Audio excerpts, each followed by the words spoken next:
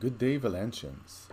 Today I'm going to take you a little bit behind the scenes, and for those who are interested in uh, decrypting their config files and then decrypting their private key.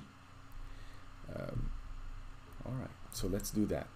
You take the config file that you have backed up from the settings, and then uh, you copy the content in this ciphertext box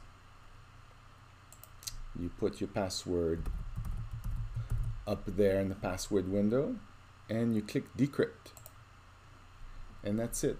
You will see the content of the config file. Here's your public key.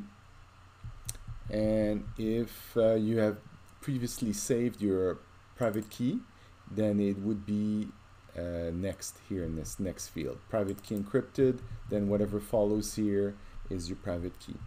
So let's see, let, let's say you're interested in decrypting that. So you would copy from the uh, first curly bracket to the, to the next curly bracket. Let's paste this information here. If you've changed your password between your private key and your config, you would update it over there. Otherwise, let's click decrypt and boom this is your a private key for what was inside your wallet. Now you could do whatever you'd like with it.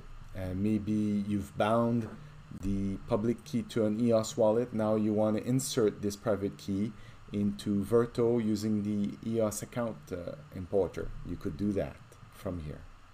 Have a nice day